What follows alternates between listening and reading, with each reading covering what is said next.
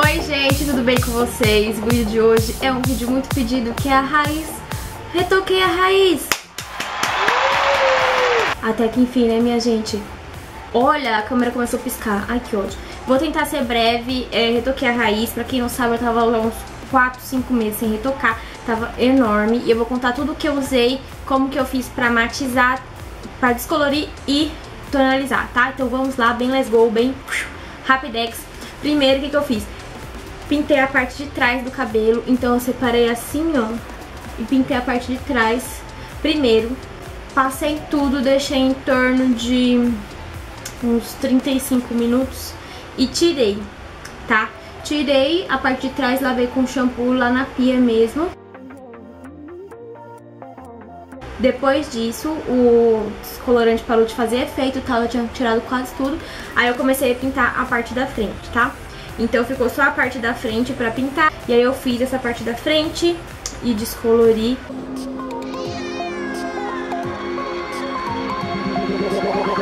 Like like a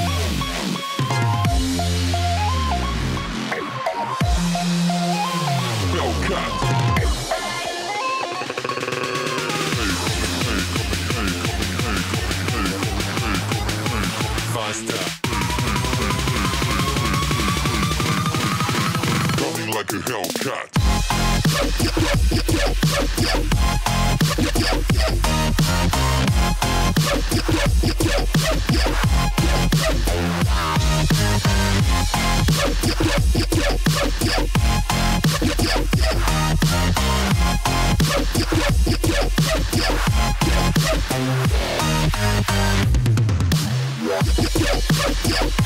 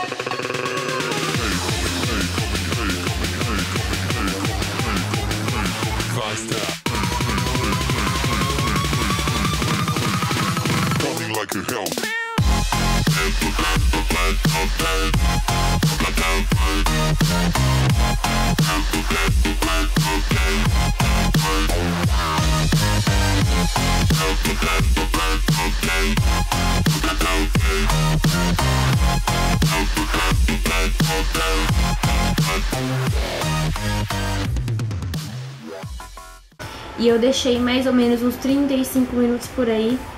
É, vocês vão ver no vídeo o que que acontece. O cabelo tava bem escuro, essa parte, né? Tava é, castanho, castanho médio no meu cabelo. Essa parte aqui. Aí a parte que já tava descolorida, é, pegou, né, essa parte que tava descolorida e foi ficando meio branco, e ficando branco. A, essa parte, né, que já tava descolorida. Aí eu fiquei com medo, falei, gente, ninguém quer ficar careca aqui. Então, deixei é, e tirei, né? Porque eu vi que tava meio amarelo, eu vi. Mas eu falei, não, vou ter que tirar porque senão eu não quero ficar careca, né, gente?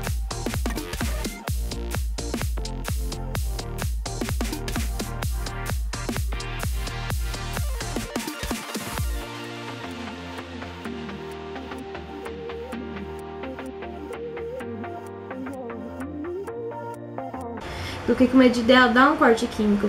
Então, quando terminei de passar, eu usei é, na primeira descoloração, eu usei a água oxigenada da Amende, essa daqui de 40 volumes, junto com um pó descolorante da Amende também, que é um de embalagem roxa, que é especialmente para cabelos loiros.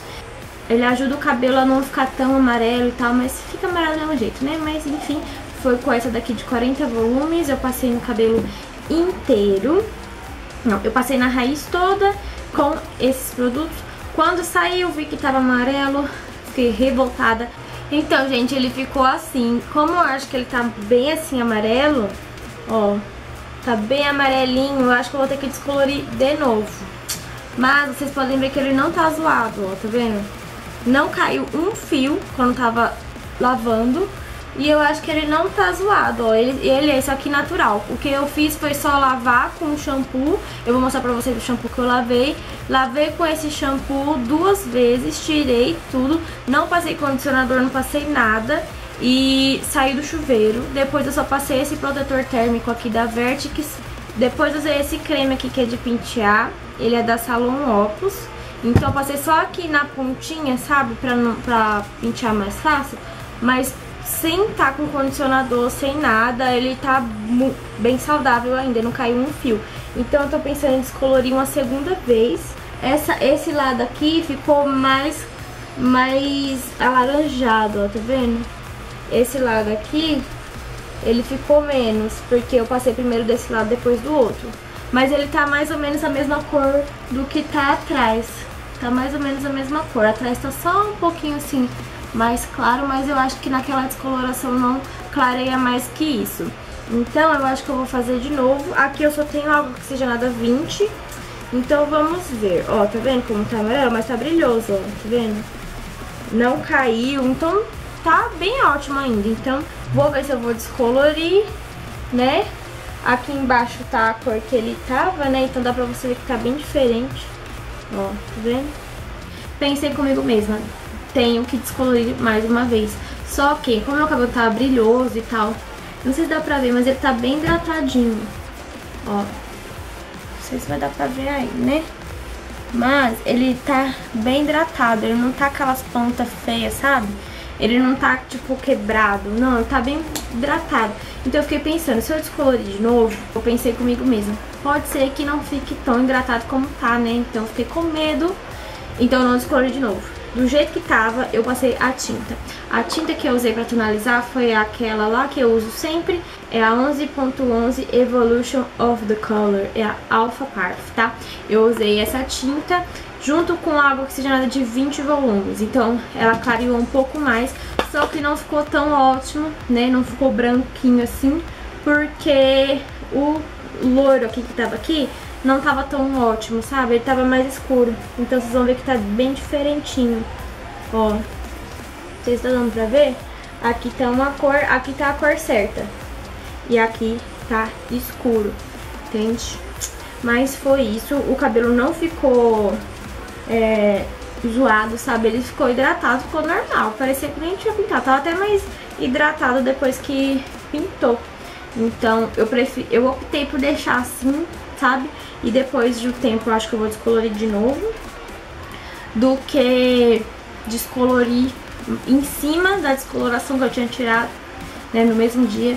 E como eu trabalho, não tem como, tipo, ah, vou deixar pra outro dia. Não, ou faz tudo no mesmo dia, filha, ou no outro dia você vai ter que sair na rua com, a, com o cabelo todo zoado, né? Então eu fiz isso, minha gente. Então foi isso. Quando eu fui lavar o cabelo para tirar o descolorante, eu usei só um shampoo, um shampoo cinza e não passei condicionador nem nada para poder tonalizar por cima, tá? Se vocês me perguntarem, eu fiz isso. E acho que é isso, gente. Depois que eu tirei o tonalizante, eu deixei mais ou menos uns 35 minutos também, 35, 40 minutos. Ele tava ficando bem cinza. Ele tava até mais cinza do que isso, ele tava bem mais cinza, mas aí eu lavei e isso é um pouco só um pouquinho, sabe? Mas é isso. Eu gostei muito do da cor que ficou o comprimento, porque ficou bem cinza, assim, bem legal. Só que a parte de cima, a raiz, não ficou tão ótima assim, né? Mas é aquele ditado, né? Vamos fazer o quê? Então depois eu vou descolorir de novo, ver se fica no tom que eu quero. Pelo menos não vai estragar com o cabelo da irmã, não é mesmo? Então é isso, gente. Isso que eu usei pra descolorir meu cabelo. Eu vou gravar um vídeo de perguntas e respostas sobre cabelo, tá?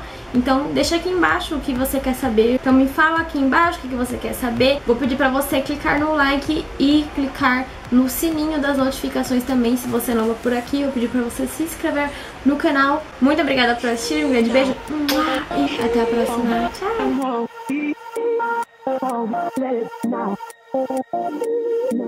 Tchau!